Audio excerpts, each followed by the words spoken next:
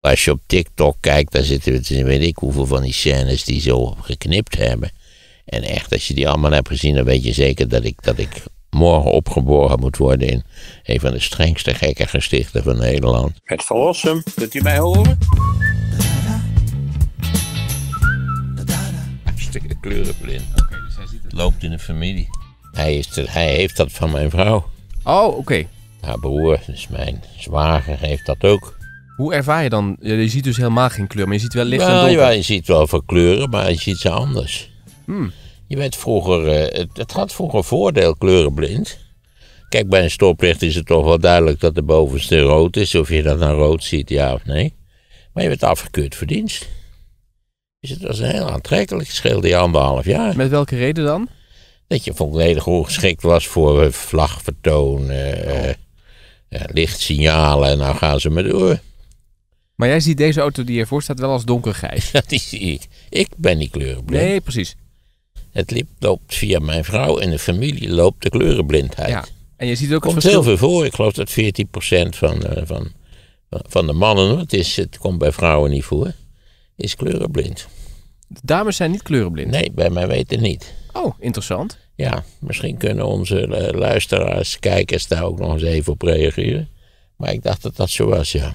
Maar je hebt ook nog wel eh, iemand, het verschil als je niet kleurenblind bent. Hoe ervaar je een kleur? Bijvoorbeeld die twee auto's die daar staan zijn alle twee donker. De ene is wat zwarter dan de andere. Ja, de rechter zou ik zeggen is heel donkergrijs. Althans, als, de, als er licht op valt, zoals je ziet. Ja.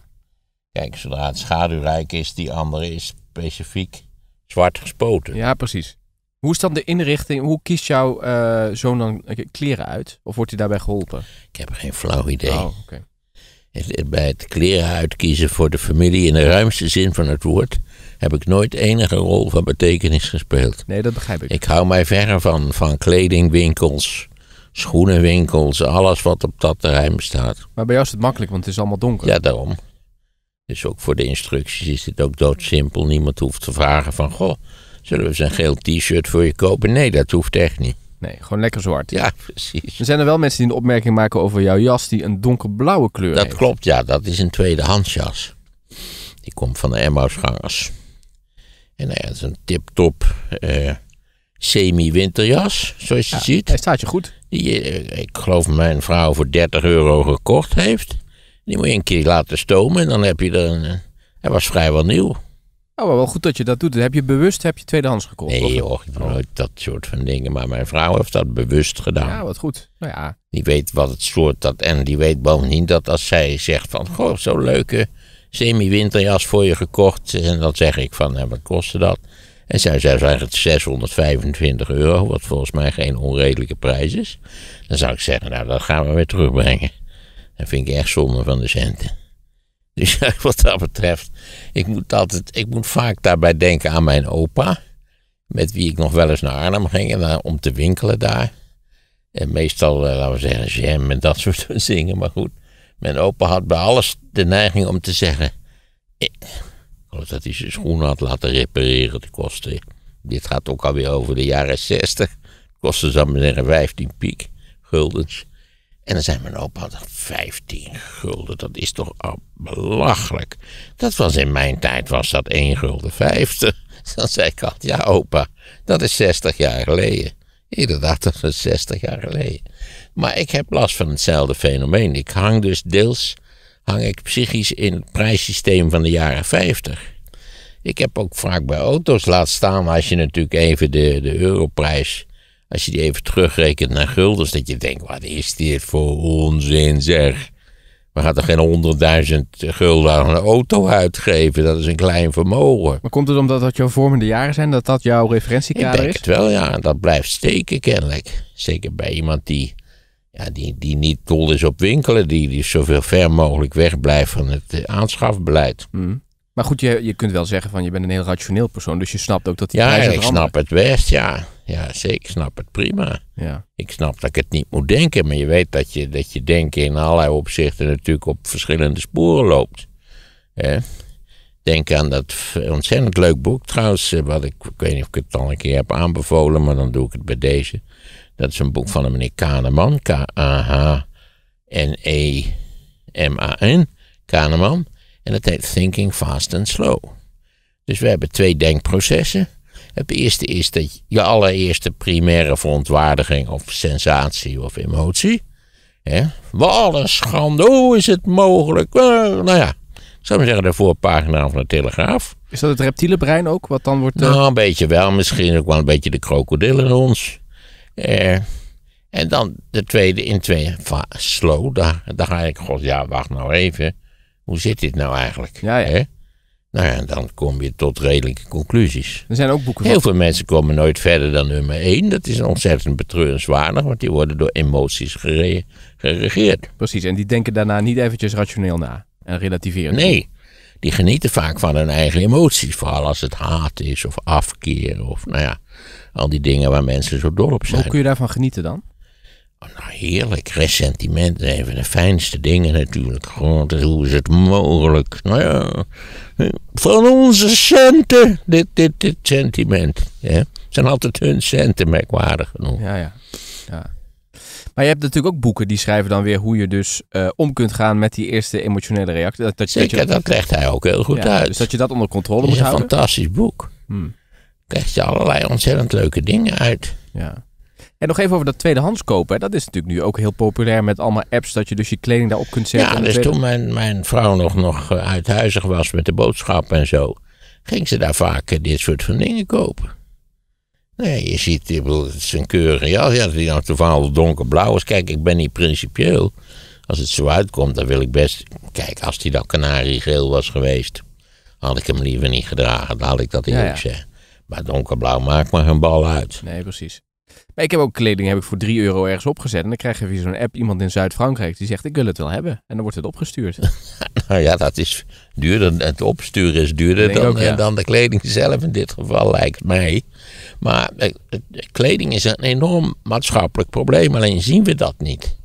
Eh, Want wij zijn in het algemeen geneigd om dingen niet af te dragen, maar al, al heel snel te zeggen: moeten we eens iets nieuws, een leuk jurkje, leuk jasje, leuk je ditje of datje. De, de, de wintersportmode is veranderd, dus we moeten nou allemaal iets anders hebben. Klik, klak, robbel.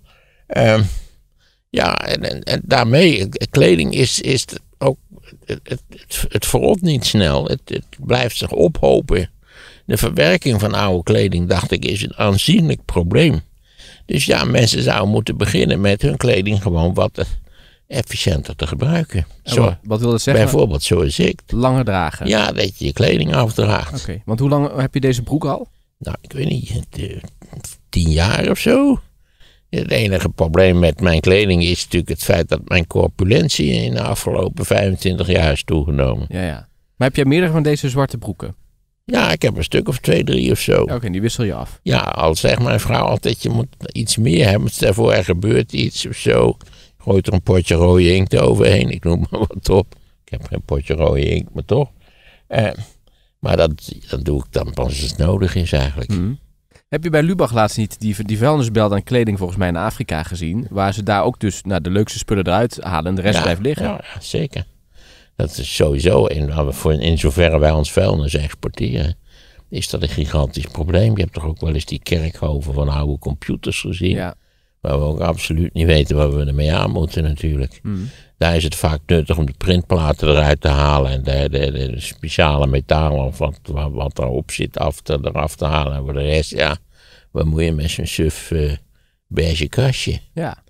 Dat is een probleem. Sowieso natuurlijk is ons afval een gigantisch probleem. Mhm. Ja, ik stond van de week bij een container waar spullen die hier ook een, eh, bij de verbouwing in de straat Ja, stond. toen wij hier de, de containerovers hadden, is het is een ontzettend attractiepunt voor mensen die Ja. van alles en nog wat eruit halen. Precies. Oude planken, Douchekoppen. eh, de gekste spullen werkelijk. Ja, Ook s'nachts werd er altijd in dat ding gerommeld. Wat wij dan weer vervelend vonden natuurlijk. er kwam een man langs en die ging in die, in Ja, die, in die bak kijken. Zei, oh, dat gordijn Ja. kan ik nog gebruiken. Wat goed Ja, is, nee, toch? Je hebt mensen die fietsen gewoon de stad rond. En hij had een scootertje en had het hele scootertje had hij volgeladen met allemaal spullen. Het was nog een, een, een kunst om Nou dat ja, overeind op te houden. zichzelf eh, is het goed dat hij het hergebruikt. Ja. Waar dan ook voor. Je vraagt je af waarvoor dan. Maar goed, eh, het, het is wel nuttig. Ja. Eigenlijk het concept van marktplaats, hè? wat zij al Ja. jaren doen. Ja, hetzelfde idee. Als je het daar kwijt kunt en iemand anders blij mee maken met je, met je babybedje, ik noem maar wat op. Ja. Eh, dat was ook bijvoorbeeld eh, heel voordelig was. Want wij kregen wat later kinderen dan veel van onze kennissen.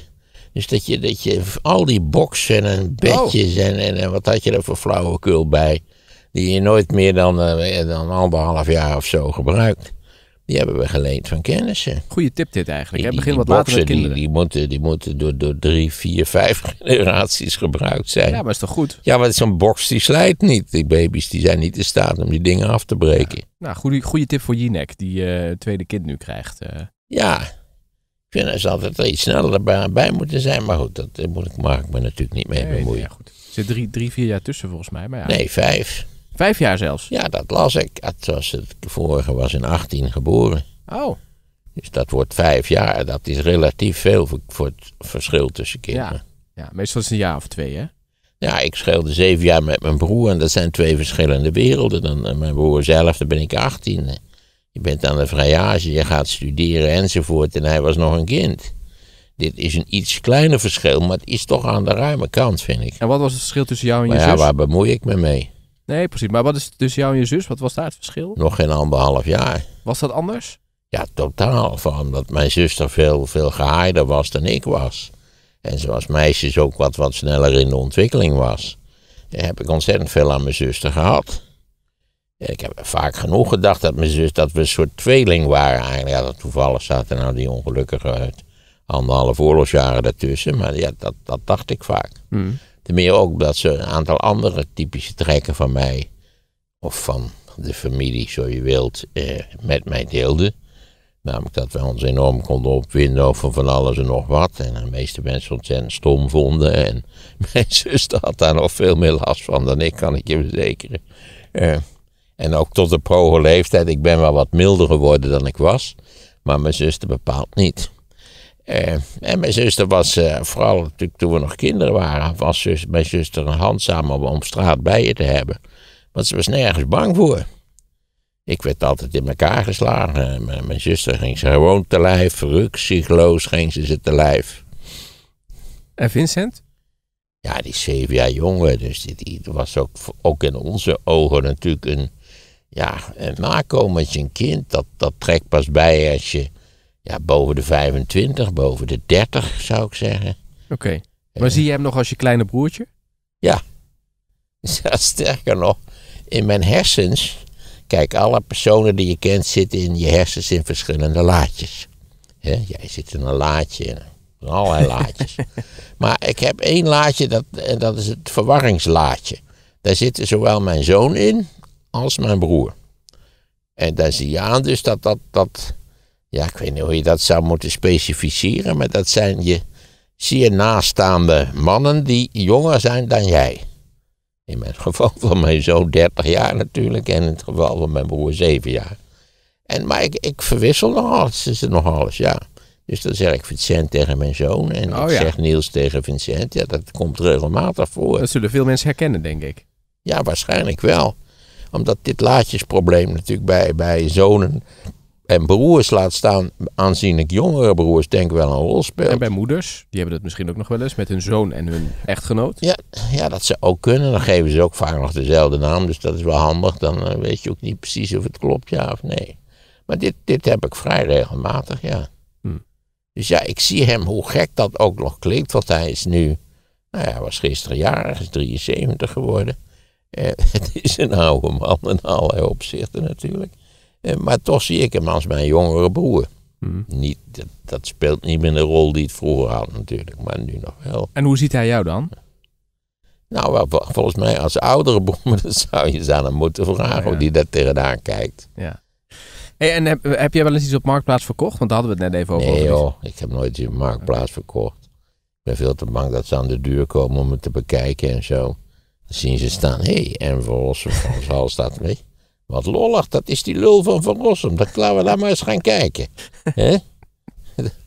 Ik moet er wel om lachen, omdat je ook mensen hebt die dan discussie gaan voeren over de... Ik heb dat ook wel eens erop gezet, maar ik ben daarmee gestopt. Want die mensen komen dan vanuit de heinde en ver naar je toe.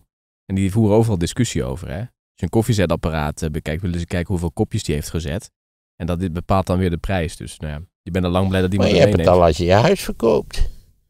Dat allerlei mensen er komen kijken waarvan je 100% zeker weet dat ze gewoon uit pure nieuwsgierigheid komen kijken. Oh, maar ja.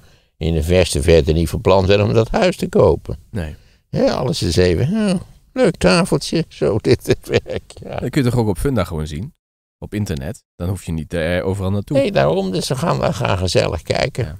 Nou is Funda en internet, dat is natuurlijk iets nieuws. Dat is van de laatste, weet ik het. Ik weet niet wanneer dat begonnen is, maar het zal niet veel ouder dan 20 jaar zijn.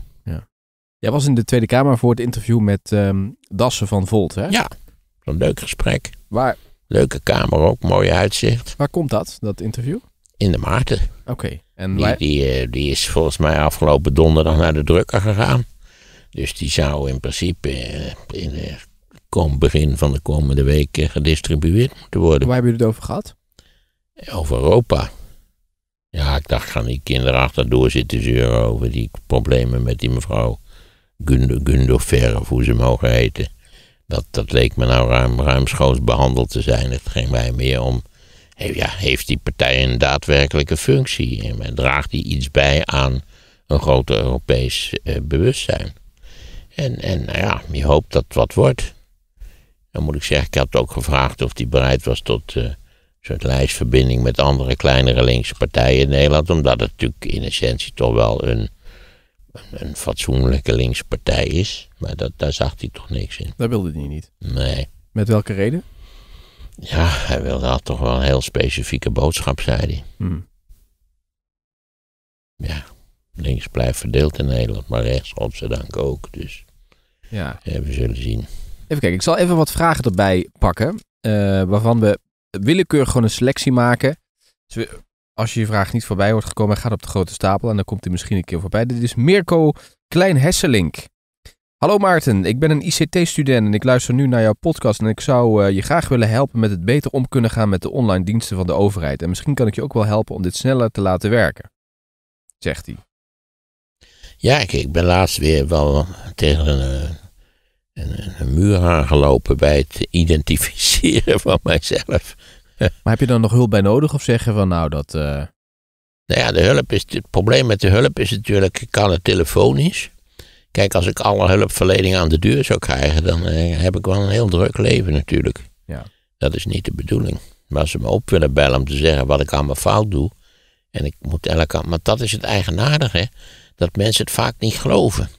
Dus ook met die identificatie had iemand gezegd van, nou wacht nou even, kom nou bij mij bezoek en dan gaan we dat samen even doen en je zult zien, in een, in een, in een momentje is het gepiept. Dat is het simpelste van het simpelste. hm. Zo gezegd, zo gedaan. Kop thee ingeschonken. Er zijn heerlijke chocoladebrokjes bij. Dat scheelde wel. En, en we gaan dat even doen. Je begrijpt hoe dit afgelopen is. Lukt absoluut niet. En ook met, bij, de, bij, de, bij de hulp lukt het ook niet. En dan ontstaat er altijd verbazing. Dat ik in staat ben om zulke dingen dus volledig in het honderd te laten lopen. Zei jouw zus ook altijd, hè? Van dat je onhandig was. En mijn vrouw ook. Ja, ik ben niet handig. Het is absoluut waar. Ik ben niet handig. Maar ik vind wel dat de digitale activiteiten van de overheid zo georganiseerd moeten worden. dat ook onhandige mensen in staat worden gesteld om te doen wat ze moeten doen. Ik heb al eerder gezegd, ook met al die webpages, zorg nou niet dat het doorklikken helemaal rechts onderaan de pagina hangt. Zorg nou dat dat middenin staat. Altijd denk ik, "Waar, god, wat moet ik nu in godsnaam? En dan pas denk ik, oh god, ja, ik moet natuurlijk even naar, de onderkant om te kijken wat daar staat. Dan staat de volgende of bevestigen. Precies, precies. Maarten, dankjewel voor je boektip van Gideon Rachman. Het tijdwerk van de sterke man. Ik heb hem met veel interesse gelezen, zegt eh, Pieter de Beer uit Soest. Ja, Rachman heeft nog twee andere boeken geschreven die ik warm kan aanbevelen. Die Rachman is een hele heldere analist. Hij heeft ook nog een tip voor jou. Hij zegt het boek van Madeleine Albright, Fascisme. Ja, ja Madeleine Albright is de Madeleine, minister voor. Buitenlandse Zaken van, eh, van Clinton. Ja. Die natuurlijk in feite in eh, Tsjechoslowakije was geboren, Joods was en ja, op tijd weggekomen is, laten we het zo zeggen. Dat boek heb je gelezen? Nee, dat ken ik niet. Ik weet dat het bestaat, maar ik heb het niet gelezen. Oké. Dan zijn er mensen die ons wijzen op eh Lightyear eh, dat een doorstart maakt met hulp van financiering van onder andere de Ja, TU. ik ben heel benieuwd of dat een succes gaat worden. Dan zullen ze toch wel een oplossing moeten verzinnen voor het feit dat hun debuutauto 240.000 euro moet kosten. Deze man die dit doorgeeft, dat is Karel Gerritsen. Die zegt dat hij studeert eh, architectuur op de TU in Eindhoven. En voor het vak uh, architectuurgeschiedenis en theorie las ik een artikel waarin werd beweerd dat de Amerikaanse traditie van overdaad werd gezien als elitair, terwijl deze overdaad in Europa werd gezien als onnodig. Weet je misschien waarom uh, dit ja, verschil er is? Maar... Nou ja, wacht even. Dat, dat, als het over architectuur natuurlijk gaat, de modernistische architectuur was tegen te veel versiering. Het moest zo simpel mogelijk zijn. Ik geloof dat het allerberoemdste voorbeeld is het huis van Wittgenstein. Wat inderdaad verbazend ongezellig eruit zag. Uh, en, en ja, dus eh, het hele modernisme is gericht op, op weinig, zo weinig mogelijk versiering, simpele, simpele, efficiënte vormen. En het gekke is natuurlijk dat dat aanvankelijk heel succesvol is, maar op de lange termijn toch niet bevredigend heeft uitgepakt. Het is net als een beetje als abstracte schilderkunst. Het heeft aanvankelijk iets onvermijdelijks.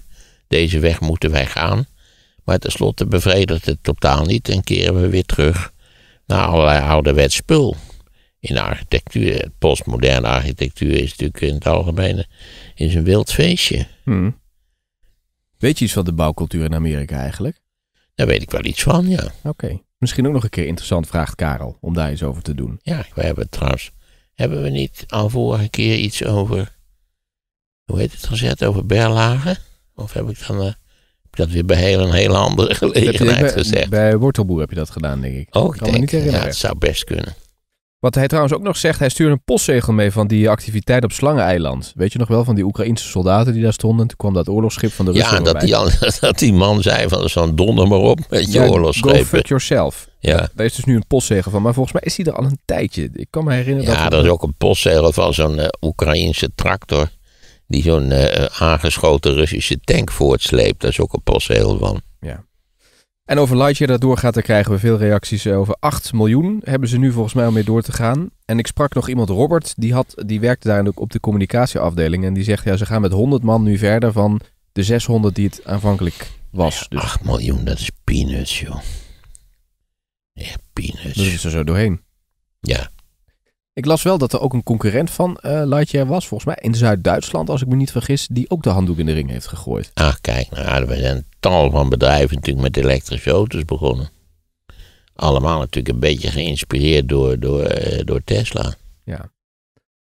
Dan hier iemand die zegt, Maarten uh, die vertelde dat Hitler nooit in dienst was geweest, maar hier lees ik iets op Twitter dat hij soldaat was in Vlaanderen.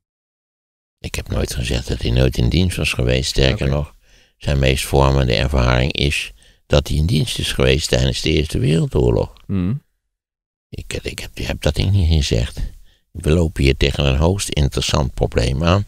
Mensen die, die op allerlei plekken beweren dat ik dingen heb gezegd of denk. die ik nooit gedacht heb, die ik nooit gezegd heb. En dan denk je altijd: waar komt die lulkoek vandaan? En men is in de digitale wereld wel heel erg slordig. Het is natuurlijk een wereld van retweeters. Hè, die, die nooit enige moeite doen om te kijken waar het vandaan komt. Of uit wat voor context het is gehaald. Oké. Ik bedoel, dus. als je op TikTok kijkt, daar zitten weet ik hoeveel van die scènes die zo geknipt hebben. En echt, als je die allemaal hebt gezien, dan weet je zeker dat ik, dat ik morgen opgeboren moet worden in een van de strengste gekke gestichten van Nederland. Maar ja, dat, is, dat wordt je aangedaan.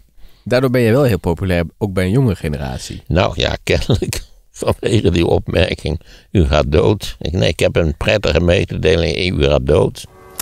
Ik heb goed nieuws. U gaat dood. Dat was voor RTW Utrecht een programma, toch? Ja.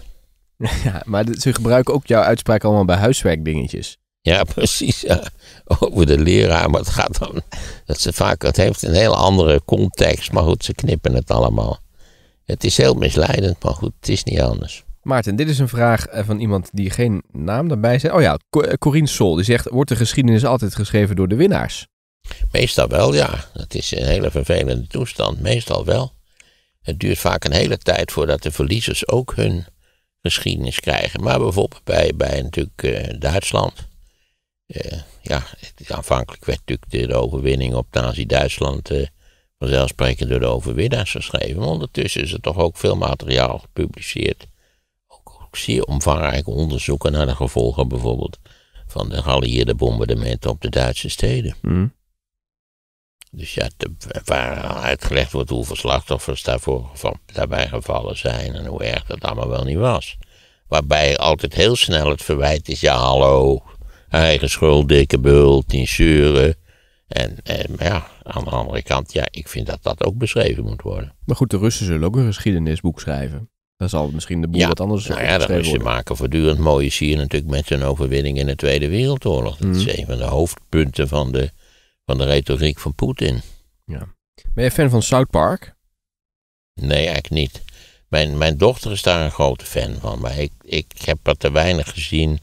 Wat ik ervan gezien heb, vind ik dat wel leuk, maar ik vind die, die platte poppetjes niks. Oké, Ruben Scheps die heeft eh, in ieder geval een leuke aflevering gezien waar Harry en Meghan belachelijk worden gemaakt. En hij zegt, ben ik dus- altijd voor. ja, hij zegt ook, het is precies zoals jij het omschreef Maarten. Dus eh, misschien vind je het leuk om die te bekijken. Ja, dat wil ik dan wel doen. Ja. Dan, Maarten, ik volg je podcast eh, nu sinds een tijdje. Ik vind het helemaal top. Als eerste het gebeuren rondom VI, wat heel nieuw is voor mij. Blijkt een stomzinnig voetbalprogramma te zijn. Inderdaad, platte pret en beperkte intelligentie. Overigens schandalig hoe vooral Van der Grijp zich uitlaat over u. Maar mijn vraag is dit, wat verstaat u precies onder intelligentie? Zegt Evelien Mulder. Nou, dat is natuurlijk een heel ingewikkelde zaak. We hebben een eh, op zichzelf eh, volgens mij redelijk wetenschappelijk gebaseerd soort van intelligentietest. Als je dat goed wilt doen, is dat volgens mij nog een heel proces. Dat is wat er officieel over, nage, over gezegd wordt. En, en, en zoals je... Dus de IQ-test bedoel je? Ja, die gewone doodgewone IQ-test die je vaak bij sollicitaties en dat soort van dingen moet, eh, moet doen. Heb jij die wel eens ingevuld? Ja, die heb ik ook wel eens ingevuld. En wat is want- jouw IQ? ja, geen idee, want dat werd er niet bij vermeld. Maar ik, ik werd, het leek mijn ouders verstandig om mij te testen. Ik zat toen op het gymnasium. Ik denk in de derde of de vierde klas. En de vraag was of ik alfa of beta moest doen. Dat waren de enige twee mogelijkheden toen. En, eh, toen had iemand gezegd van ja, dan moet je hem laten testen. Toen ben ik hier in Utrecht bij een, een, enorm groot deftig instituut getest. Dat weet ik nog als de dag van gisteren. Sterker nog, vond ik nog een lollig testje al met al. Je moest, je moest een verhaal schrijven. Nou, dat vond ik hartstikke leuk om te doen. En toen, eh, nou ja, de testuitslag, die had je niet zo verschrikkelijk veel aan. Want de testuitslag was dat ik het allebei wel kon doen. En dat ik me beter zo praktisch mogelijk eh, moest, eh, naar school moest gaan. En dus toen heb ik Bertha gedaan. Omdat dat minder mogelijkheden uitsloot. Gek genoeg ben ik tenslotte geschiedenis gaan studeren. En pas in 62, ik denk zo'n beetje toen ik dat ben gaan studeren, kon je ook met Bertha geschiedenis studeren. Dus bijna had ik eigenlijk mijn, mijn eigen mogelijkheden afgesloten. Maar ik, ik, ik was ook geen groot vertaler van Grieks, hoor, moet ik er wel bij zeggen. Maar de vraag is dus van, meer aan moeilijk genoeg. Evelien vraagt, wat is nou intelligentie? Hoe bepaal je Ja, dat? wat, wat is het nou? Ja, dus we hebben de intelligentietest. En daar kun je bepalen hoe, wat, wat daar precies uitkomt. Ik heb begrepen dat dat vaak.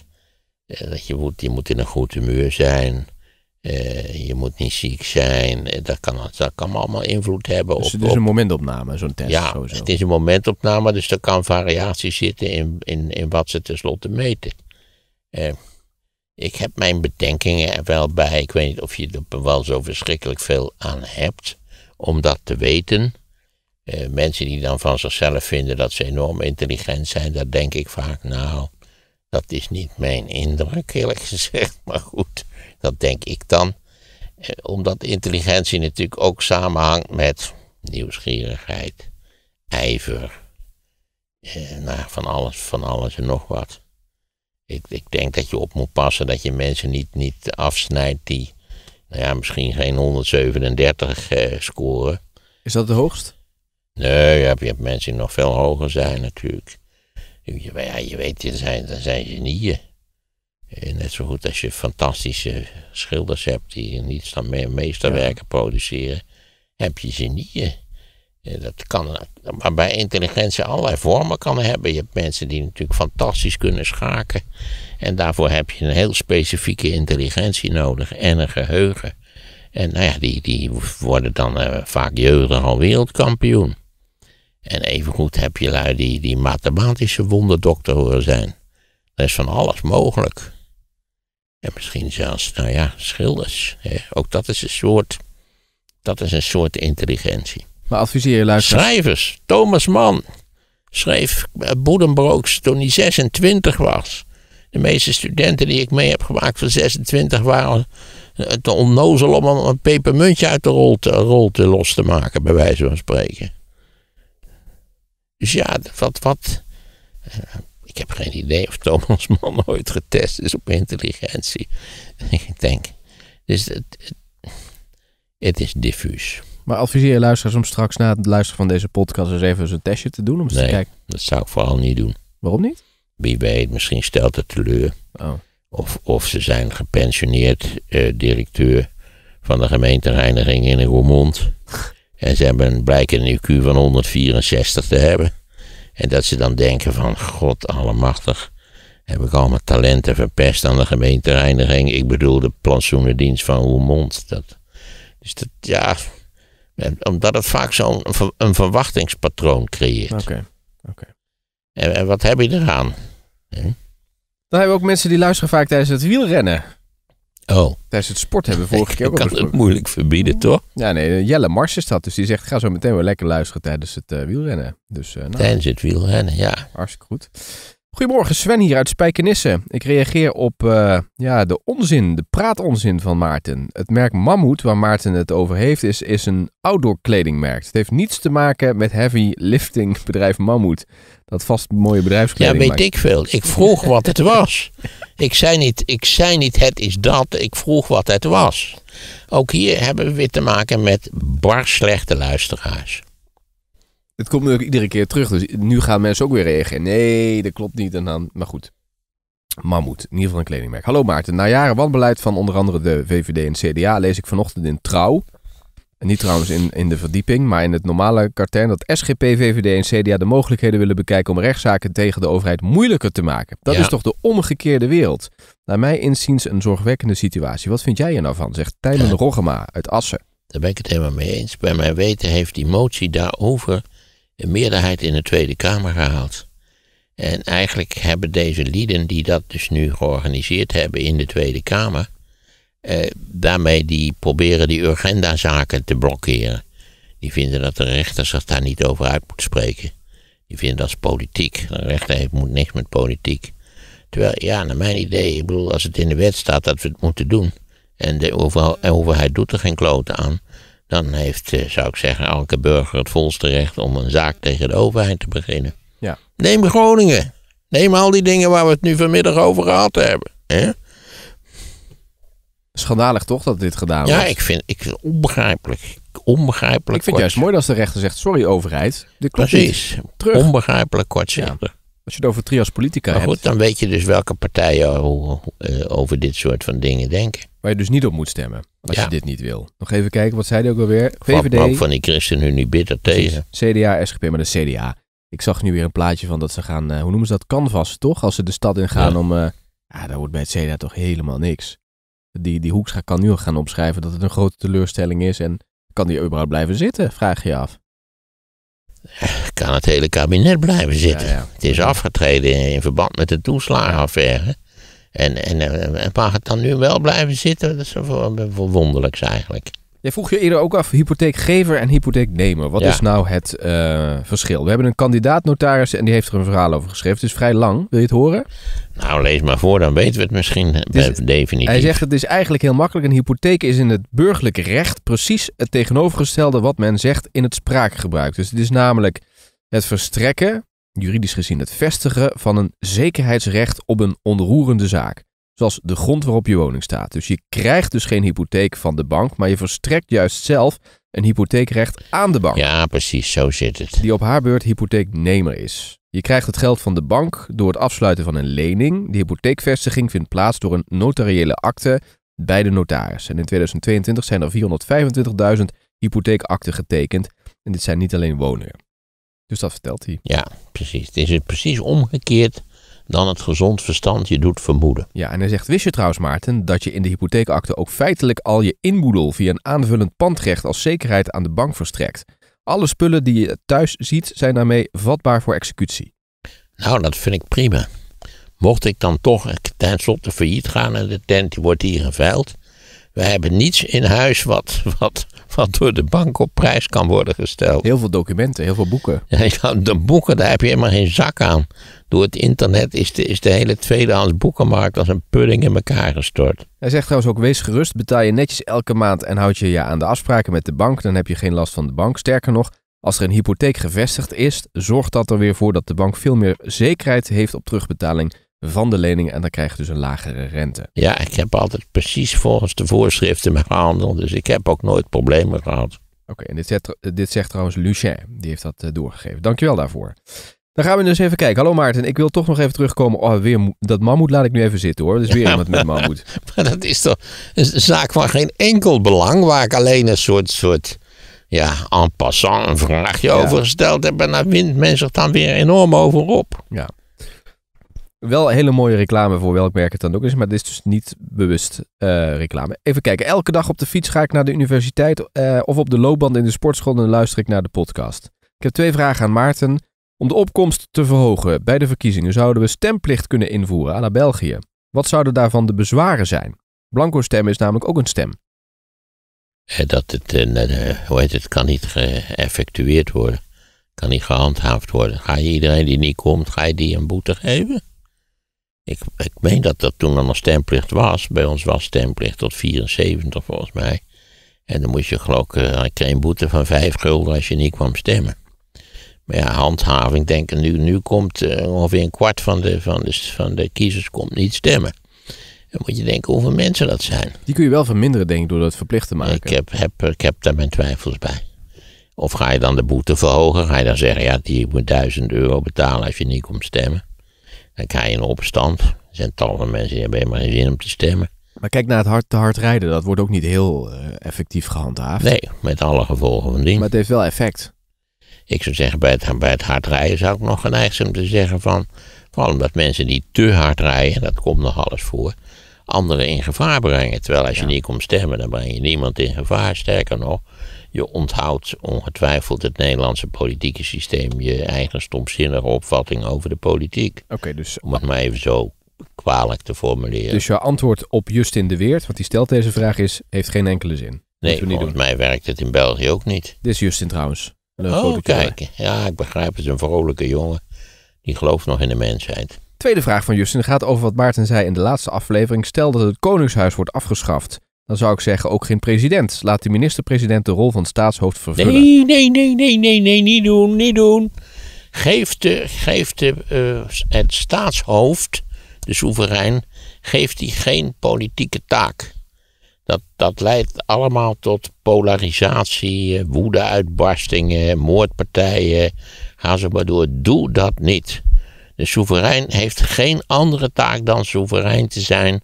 Niet waar uh, het jaarlijkse parlementaire jaar te openen, linten door te knippen en eventueel eilanden in de Caribische Zee te, bezoeken. Dat kan allemaal. Maar wat hebben we eraan, vraagt hij? Wat heb je nou aan zo'n ceremonie? Je hebt een soeverein nodig. Je hebt gewoon iemand nodig die bij gelegenheid op beperkte mate de natie kan vertegenwoordigen.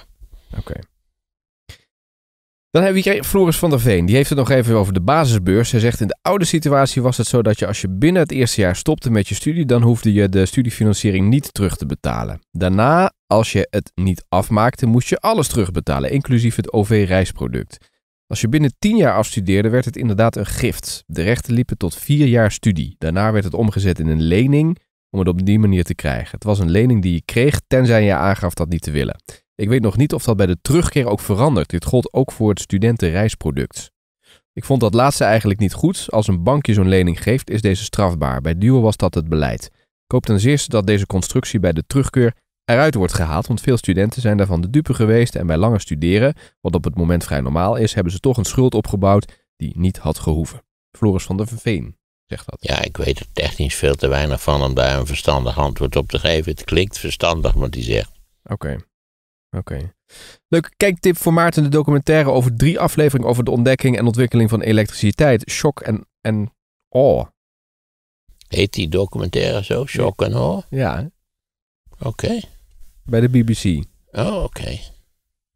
Ja, het fijn natuurlijk. Voor Engels is het een heerlijke documentaire, omdat natuurlijk een aanzienlijk deel van die allervroegste ontwikkeling van elektriciteit het werk van Engelsen was.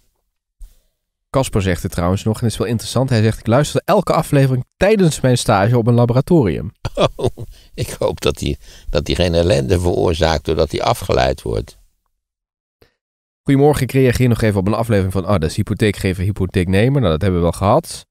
Even kijken, wat hebben we dan hier nog? Eh, Maarten heeft het wel eens gezegd dat Reagan eh, af heeft gemaakt wat, waar Carter mee begonnen is. Ja, Zou je daar wat meer over kunnen vertellen?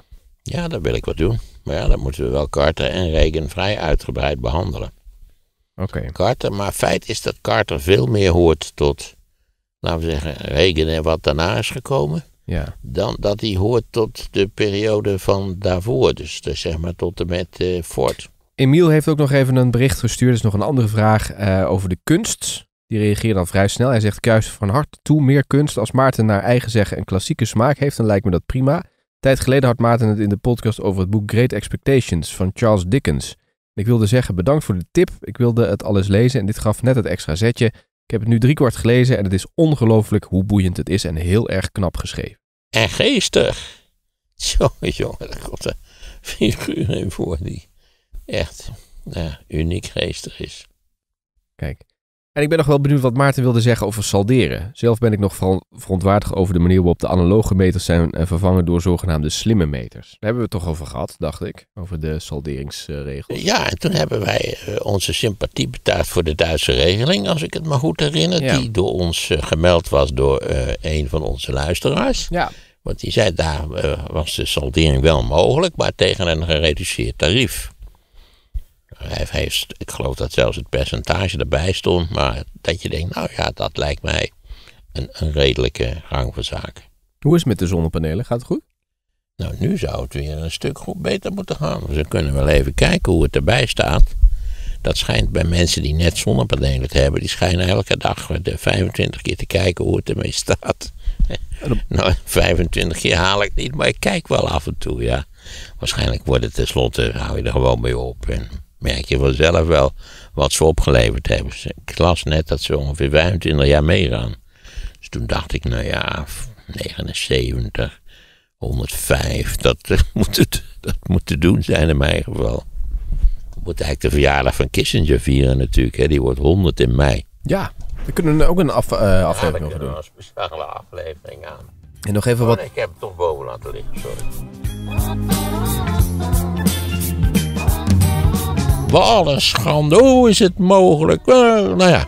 Voor NPO 1 is toch al een dictatoriale instelling, dus daar willen ze mij best, best beluisteren. Heb je de live podcast over de oorlog in Oekraïne gemist? Vervolgens word je eigenlijk uitgemaakt voor een randebiel die niet wist wat er aan de hand was.